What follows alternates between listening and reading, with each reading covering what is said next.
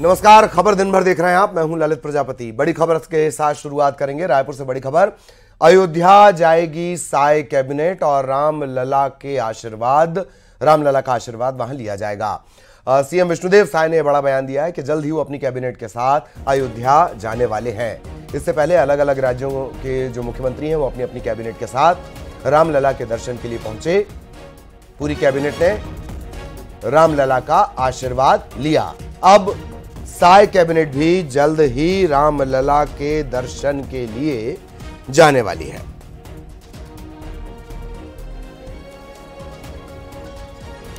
CM Vishnudeo Sai ने इस बात की जानकारी दी है। शामिल था। इतना ही नहीं जो विदेशों में भी जो राम भक्त थे वो भी 22 जनवरी के कार्यक्रम को लाइव देख रहे थे। कैबिनेट रामलला के दर्शन के लिए कब जा रही है? बहुत जल्दी बहुत जल्दी।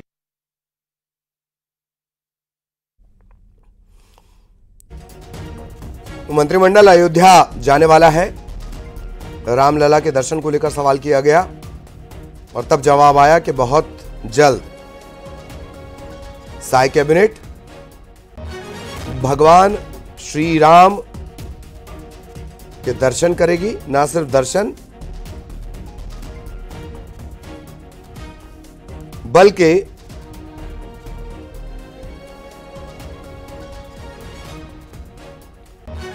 आशीर्वाद लिया जाएगा।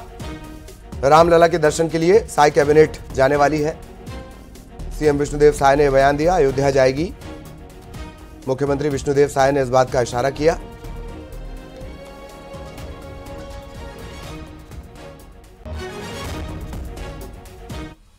इधर मध्य प्रदेश के मुख्यमंत्री डॉक्टर मोहन यादव उज्जैन के स्कॉन मंदिर पहुँचे। यहाँ उन्होंने भगवान कृष्ण और जगन्नाथ के दर्शन किए, आशीर्वाद लिया। इस दौरान उन्होंने कहा कि हर साल जगन्नाथ यात्रा में वो शामिल होते थे, लेकिन इस बार तन से वो भोपाल में रहेंगे, मन से भगवान की यात्रा में मौजूद रहेंगे।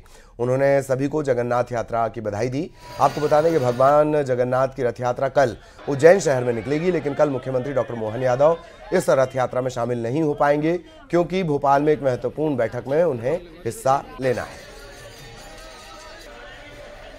जगन्नाथ यात्रा हर साल निकलती है इस वर्ष, और आनंद बढ़ गया। जब तीन रथ में अलग अलग भगवान निकलेंगे, भक्ति चौधरी जी महाराज साहब ने इसकी स्थापना करी, तब से मैं हमेशा अगर उज्जैन में रहा या आसपास रहा तो ज़रूर आता था। इसी क्रम में आज भी मैंने अपनी उपस्थिति दर्ज कराई है। चूँकि कल मैं भाजपा की प्रदेश कार्यकारिणी भोपाल में रहने वाली, इसलिए मुझे वहाँ रहना पड़ेगा। भगवान का आनंद उज्जैन में चार गुना बढ़ जाता है। और उज्जैन और बाबा महाकाल, भगवान कृष्ण और महाकाल की मित्रता भी बहुत प्रसिद्ध है। इसलिए साल में एक बार हरिहर मिलन बहुत अद्भुत होता है। ऐसे बाबा की कृपा हम सब पे बनी रहे। इधर मुख्यमंत्री डॉक्टर यादव ने उज्जैन में कपिला गौशाला में पौधरोपण किया। इस दौरान मुख्यमंत्री डॉक्टर यादव ने कपिला गौशाला का दौरा भी किया।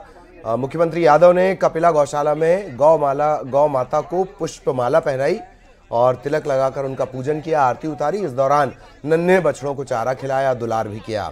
उन्होंने गौशाला में सीएसआर से उपलब्ध आधुनिक पशु चारा मशीन और बाकी उपकरणों को देखा। कपिला गौशाला के अच्युतानंद जी महाराज ने गौशाला में किए गए नवाचार और गौशाला संवर्धन के मास्टर प्लान की जानकारी उन्हें दी।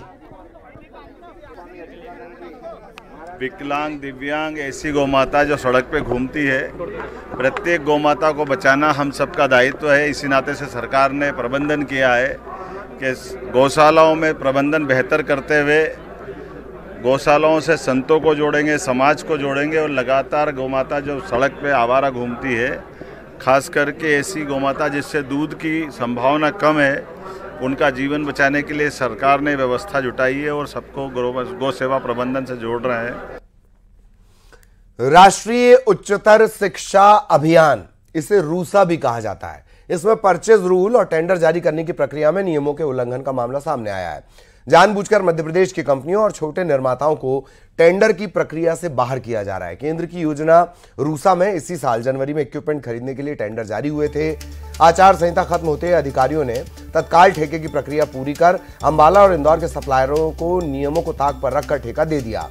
जल्द टेंडर के आदेश भी जारी होने वाले हैं। न्यूज़ एटीन ने इस संबंध में उच्च शिक्षा मंत्री इंदर सिंह परमार से बात की। उनका साफ़ कहना है कि मामले से जुड़े तथ्य आने पर पूरे मामले की जाँच कराई जाएगी।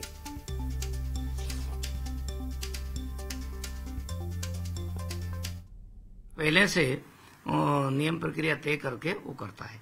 फिर जो टेंडर में जो नियम प्रक्रिया होती है उसमें आप उसमें कोई सुजालपुर का भी डाल सकता है, भोपाल का भी डाल सकता है, दिल्ली का भी डाल सकता है, कलकत्ता भी डाल सकता है, मुंबई का। उसको रोक नहीं सकते हैं। किसी को भी टेंडर प्रक्रिया से जो पात्र व्यक्ति है, उसको भाग लेने से नहीं रोक सकते हैं।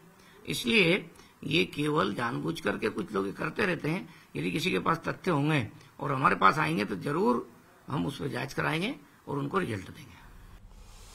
मध्य प्रदेश का सह प्रभारी बनाए जाने पर बीजेपी नेता सतीश उपाध्याय ने कहा कि पार्टी ने जो भरोसा जताया है उसके लिए वो आभारी हैं। इससे पहले भी उन्होंने मध्य प्रदेश में रहकर काम किया है। डबल इंजन की सरकार है तो अब मध्य प्रदेश विकास के साथ आगे बढ़ रहा है। मौजूद हैं मध्य प्रदेश के सह प्रभारी सतीश उपाध्याय।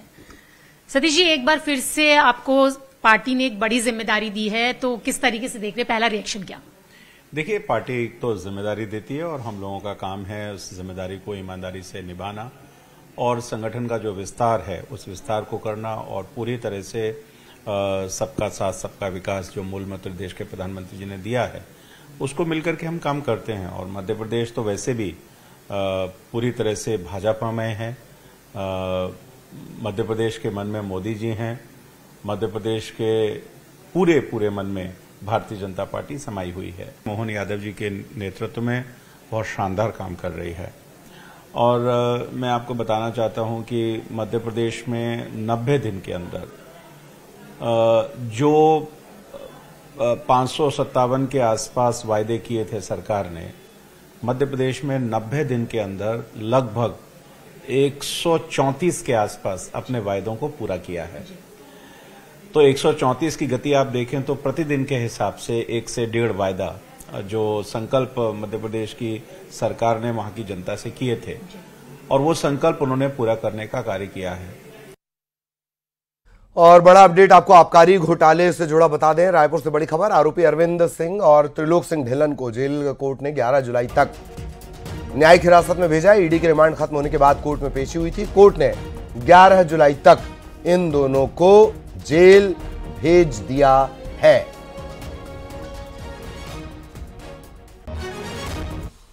और महादेव सट्टा मामले में भी बड़ा अपडेट मिल रहा है। रायपुर से बड़ा अपडेट आपको बता दें 24 अगस्त तक जेल भेजे गए सभी आरोपी। कोर्ट ने न्यायिक रिमांड पर इन्हें भेजा है। स्पेशल कोर्ट ने 24 अगस्त तक इन्हें जेल भेजा है।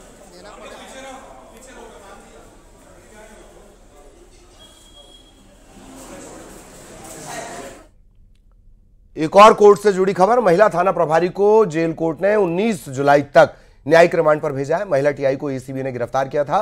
बीस हज़ार की घूस लेते गिरफ्तारी हुई थी। इन्हें भी 19 जुलाई तक न्यायिक रिमांड पर भेजा गया है।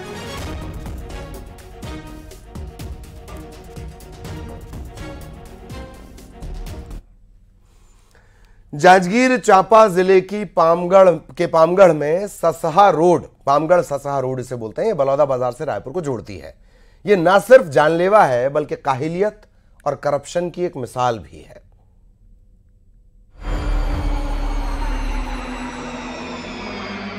सुनो सुनो सुनो।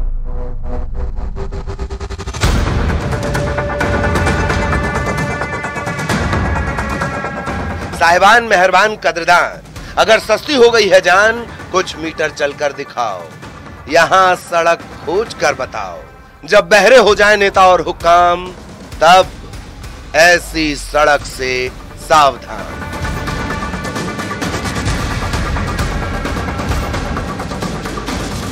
सरकारी फाइलों में ऐसे सड़क का नाम हासिल है, लेकिन ज़मीन पर ऐसा कुछ खोजने की कोशिश ना करिएगा। साइकिल से लेकर ट्रक तक की साँसें यहाँ फूल जाती हैं। पामगढ़ ब्लॉक के डोंगा कोहरौत गाँव की इस रोड से गुजरना मौत के कुएँ में बाइक चलाने जैसा रोमांच देता है। ऐसा जबरन रोमांच जो इस इलाके के बच्चे से बुज़ुर्ग तक के लिए मजबूरी बना हुआ है। गाँव वालों ने अफसर से नेताओं तक सबकी देहरी पर नाक रगड़ ली लेकिन मजाल है कि रोड बन जाए। कलेक्टर एसपी के पास भेजते हैं, एसपी कलेक्टर के पास भेजते हैं। इंसान ना हुआ फुटबॉल हो गई। बरसात में लोगों को गड्ढे और पानी तो गर्मी में धूल जान निकाल देती है। कहने को तो भारी वाहनों पर बैन है लेकिन उसी बोर्ड को मुँह चिढ़ाते 24 घंटे गाड़ियाँ चलती हैं। 2017 से 90 किसानों के 9 करोड़ के मुआवजे के खेल मैट की 8 किलोमीटर की सड़क नर्क का एहसास करवा देती है। संस्कृति विकास का विस्तार करने वाली सड़क यहाँ कुछ न कुछ छीन लेती है। गड्ढे के वजह से एक्सीडेंट हो जाता है और मेरा पैर भी एक बार टूट चुका था। उससे मैं छः महीना स्कूल नहीं जा पाया उससे मेरा मार्क्स थोड़ा कम आया। मैं जाती हूँ पामगढ़ पढ़ाई करने पामगढ़ जा रही थी तो मेरा एक बार एक्सीडेंट हो गया था। इसलिए मेरा पैर में वो हो गया था फ्रैक्चर हो गया था। इसलिए ना मेरे इस बार का मार्क्स कम आया है। इसके जिम्मेदार सिर्फ़ उन्हीं को देना चाहूँगी जो इस रोड को बनने नहीं दे रहे हैं। जिम्मेदारों की काहिलियत और करप्शन की जीती जागती मिसाल ये रोड, डोंगा कोहरौद, भिलौनी, जरैला, धनगांव, कोसी, ढाबाडीह हिर्री सिर्री, खरखौद, शुक्ला भाटा जैसे कई गाँव के लिए एकमात्र सहारा है। मौजूद है पामगढ़ के सजहा रोड के बीच जो है डोंगा कोरत गाँव में, जहाँ की सड़क पूरा कचूमर हो गया है। बीते तीन चार साल से ये सड़क के खस्ता हाल लगातार यहाँ कई दुर्घटना हो चुके हैं, कईयों के जान जा चुके हैं तो कई के हाथ पैर टूट चुके हैं। हम इस सड़क की बात करते हैं तो यहाँ क्षेत्रीय विधायक के गृहग्राम भिलौनी भी आती है। पूर्व जो हिंदू बंजारे थी, वो उनके द्वारा लगातार कई तरह के वो तो किया गया लेकिन अब तक अमली जामा नहीं बन पाया और बीते वर्ष में कांग्रेस की सरकार ने भी किसी तरह के कदम नहीं उठाए इस सड़क को बनाने के लिए। अभी वर्तमान सरकार भी अ, किसी तरह के कदम नहीं उठा रहे हैं और प्रशासन से लगातार ग्रामवासी जो है गुहार लगाते थक गए हैं। आखिरकार अब यह धरना और आंदोलन के लिए उतारू हो गए हैं। आक्रोशित ग्रामीण हम कुछ महिलाओं से बात करते हैं जो सड़क के बीच में यहाँ मैदान पे उतरे हैं और लगातार नारा लगा रहे हैं कि सड़क बनाओ और जान बचाओ करके। बहुत ज़्यादा समस्या होते हैं। यहाँ रोज के गाड़ी वाला मन आते जाते है या दूसर गाँव के आते थे मन रोज गाड़ी देवत है हमारे गाँव के मन ला। गाँव ला बनात नहीं है रोड ला। गाँव के मन मुआवजा मांगत रही से यहाँ रोज दुर्घटना होथे, यहाँ आए जाए में रोज परेशानी होथे, देख लेवा कत्ता बड़े बड़े गड्ढा है। यदि तो कम है, और आगे रोड में बहुत ज़्यादा गड्ढा है। लड़का मन की स्कूल ड्रेस ला देखा, पूरा कैसे है एकदम से। पूरा रोज कीचड़ में लथपथ हो जाते मन। स्कूल जाते तो मन ला बैठे में भी परेशानी होथे। ज्ञापन धरना, प्रदर्शन, सब कुछ हुआ, लेकिन नतीजा सिफर है। मानो इंतज़ार किया जा रहा है गाँव वालों का गुस्सा। भारतीय न्याय संहिता की हदों को लांगने लगे, तब कोई सुनवाई हो। सबसे कमाल की बात, कलेक्टर आकाश छिकारा करते हैं। वो ये कि इस विषय पर बात करने से ही इनकार कर देते हैं। इसे ही कहते हैं अफसरी का जलवा, कि दर्जनों गाँव नर्क की पीड़ा भोगे, पर साहब के कान पर जू न रहेंगे क्योंकि जू रेंगती तो जवाब देते, भागते नहीं। हज़ारों लोग इस उम्मीद पर हैं कि वो सुबह कभी तो आएगी जब ये सड़क चमचमाएगी। कुल मिला के यहाँ आक्रोशित ग्रामीणों का कहना है कि यदि सड़क समय पर नहीं बनाए तो आंदोलन करेंगे और चक्का जाम करेंगे जिसकी संपूर्ण जवाबदारी शासन प्रशासन की होगी। Kailash Kashyap news eighteen Janjgir Champa. खाने के सामान की समय सीमा होती है। ऐसे में एक्सपायरी डेट का ध्यान रखना ज़रूरी होता है। बलरामपुर में ऐसे दो मामले सामने आए जहाँ सेहत के साथ खिलवाड़ किया गया।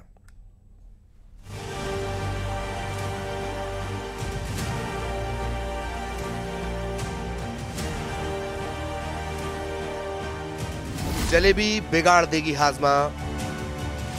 पानी बिगाड़ देगा सेहत। एक्सपायरी डेट का रखें ध्यान। जी हाँ खाने पीने के सामान को लेकर एक्सपायरी डेट का ध्यान रखना बेहद ज़रूरी है। ऐसा ना करने पर यह जानलेवा भी हो सकता है। खाद्य पदार्थ को तय समय के अंदर इस्तेमाल करने की ज़रूरत होती है, नहीं तो ये सेहत को नुकसान पहुँचा सकते हैं। कई बार होटल और दूसरी जगहों पर इसका ध्यान नहीं रखा जाता। तस्वीरें देखिए। तस्वीरें बलरामपुर की हैं, जहाँ खाद्य विभाग कार्रवाई कर रहा है। इस बनी हुई जलेबी को नष्ट किया जा रहा है। इस जलेबी को बनाने के लिए जिस रंग का इस्तेमाल किया गया था, वो एक्सपायर हो चुका था। बावजूद इसके होटल संचालक ने इसे जलेबी बनाने में इस्तेमाल किया। इस बात का खुलासा तब हुआ जब खाद्य विभाग ने जाँच की। जाँच के दौरान होटल की इस गड़बड़ी का पता चला। मौके से तेल और दूसरे खाद्य पदार्थों के सैंपल को भी जाँच के लिए भेजा गया है। जाँच रिपोर्ट आने के बाद खाद्य विभाग कार्रवाई करेगा। अब एक और तस्वीर देखिए। तस्वीरें शाला प्रवेश उत्सव की हैं और यहाँ अप्रैल में एक्सपायर हो चुकी पानी की बोतल को बांटा गया। अधिकारियों, कर्मचारियों के अलावा आयोजन में शामिल हुए बच्चों ने भी बोतल से पानी पिया। कार्यक्रम का आयोजन जिला शिक्षा विभाग ने किया था। मामले के सामने आने के बाद ये कहा जा रहा है कि पानी की सप्लाई करने वाली एजेंसी पर कार्रवाई होगी, लेकिन ये बड़ी लापरवाही है। लापरवाही शिक्षा विभाग की भी है। बिना जाँच के पानी को बांटा गया। ब्यूरो रिपोर्ट, न्यूज़ 18 इधर बुरहानपुर ज़िले के नेपानगर जंगल में अवैध कटाई पर वन विभाग ने सख्ती बरतनी शुरू की है। अब जंगल में अवैध कटाई पर नज़र रखने के लिए ड्रोन की मदद ली जा रही है। खंडवा वन विभाग के सीसीएफ रमेश गढ़वाना ने 120 कर्मचारियों के साथ कॉम्बिंग गश्त शुरू की है। जंगल में अतिक्रमण करने वालों को कड़ी चेतावनी दी है। आपको याद दिलाएँ, दो साल पहले नेपानगर के वन क्षेत्र में पेड़ों की कटाई की गई थी। हज़ारों जंगल के पेड़ों को नुकसान पहुँचाया गया था।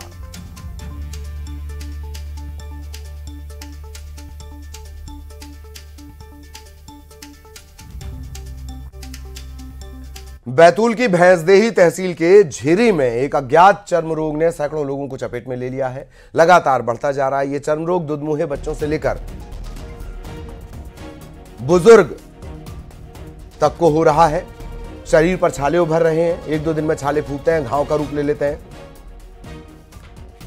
स्वास्थ्य विभाग की टीम पिछले दो दिनों से गाँव में डेरा डाले हुए है, सभी का परीक्षण किया जा रहा है।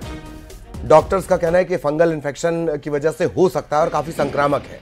इसीलिए एक से दूसरे इंसान को ये फैल रहा है। ये एक स्किन इन्फेक्शन है डर्मेटोलॉजिकल स्किन इन्फेक्शन है। इसमें देखा गया है, जब बच्चे अभी इलाज के दौरान देखा गया है कि सिर पे कुछ फंगल इन्फेक्शन जैसा हो रहा है, जो कि थोड़ा साफ़ सफ़ाई नहीं रखने से और एक बच्चे से दूसरे बच्चे को भी ये फैल जाती है बीमारी, इसलिए एक समूह में दस बारह बच्चों को ये बीमारी है। खबर धार से, जहाँ सावला खेड़ी में एक तेंदुए ने मंदिर में पुजारी पर हमला कर दिया और उसके बाद इलाके में दहशत तारी हो गई, खौफ का माहौल बन गया। दरअसल पुजारी मदनलाल जैसे ही मंदिर पहुँचे, तेंदुए ने उन पर हमला किया। शोर सुनकर ग्रामीण आए तेंदुए को भगाया लेकिन तेंदुआ मंदिर के अंदर चला गया। इन्हें उमरबन के प्राथमिक स्वास्थ्य केंद्र में भर्ती करवाया गया। फिर भोपाल इससे आगे धार जिला अस्पताल इन्हें रेफर किया गया है। ग्रामीणों की सूचना पर वन विभाग की टीम मौके पर पहुँची है। मंदिर के बाहर पिंजरा लगाया गया है। फ़िलहाल तेंदुए को पकड़ने की कोशिश चल रही है। ये सुबह को मंदिर से मतलब पुजारी पूजा करने के लिए आए। हाँ, है नी? हाँ। बाल्टी भर के मंदिर गया बाल्टी रखी। हाँ। और दरवाज़ा खुला था हाँ दरवाज़ा लगेला नहीं था खुला हाँ। दरवाज़ा था तो मंदिर में मतलब झाड़ू बुहारे करने गया तो पुजारी को मतलब अंदर से जानवर ने जैसा आया हाँ, हाँ। वैसा मतलब हमला कर दिया उसके साथ हाँ हाँ खरगोन में पर्यावरण को लेकर चिंतित गायत्री परिवार से जुड़े वसंत विहार कॉलोनी की महिलाओं ने पर्यावरण संरक्षण को लेकर एक अनूठी पहल की है पर्यावरण को बचाने के लिए महिलाएँ सीड बॉल तैयार कर रही हैं। महिलाओं ने संकल्प लिया है कि शहर से लगे निधिवन और दूरस्थ पहाड़ियों पर सीड बॉल के माध्यम से बारिश के मौसम में वृक्षारोपण कर इलाके को हरा भरा किया जाएगा।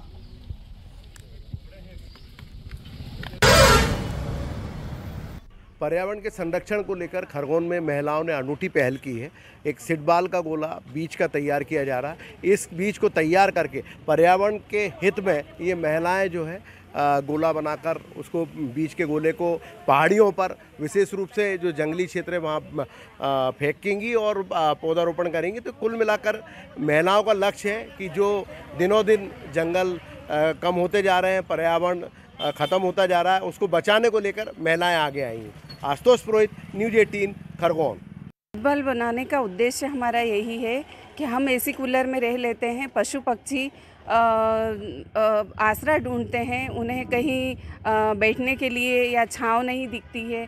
तो हमारा उद्देश्य यही है कि हम ऐसी जगहों पर सीट बाल डालें जहाँ पेड़ पौधे नहीं हैं वीरान पहाड़ियाँ हैं वहाँ जाकर इन्हें डालें ताकि वहाँ पेड़ पौधे उग सके। यही सोच हमारी कि पर्यावरण गिरता जा रहा है तो पर्यावरण को बचाने के लिए हमने बसंत बिहार की बहनों ने, गायत्री परिवार से जुड़े हैं हम तो हमने यही सोचे कि भाई हम ये सीड बॉल डालकर पेड़ पौधे जहाँ वीरान बस्ती पहाड़ी होने वहाँ पर जाके डाले और हरा भरा बनाए। और जब सौ सौ रुपए के लिए लोग बेईमानी पर उतर आते हों तब अशोकनगर के दिलशाद खान ने लाखों के जेब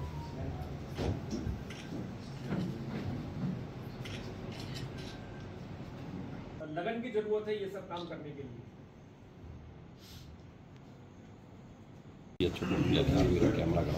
आशीष भैया।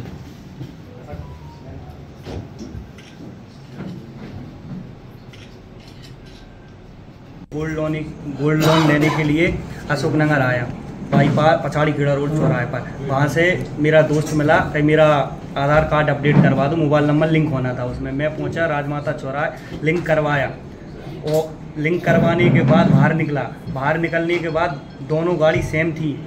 हीरो डीलैक्स हीरो डीलैक्स को उस पर मैंने टांग दिया और उससे मैंने बोला देखना तुम। और मेरे पास फ़ोन आया, मैंने दो मिनट बात की। दो मिनट के बाद गाड़ी वहाँ पर नहीं थी। गाड़ी यहाँ पर नहीं थी तो मैंने देखा मेरी मैंने बोला उस मुझसे मेरी पॉलीथीन कहाँ गई? वो तो कहीं चली गई।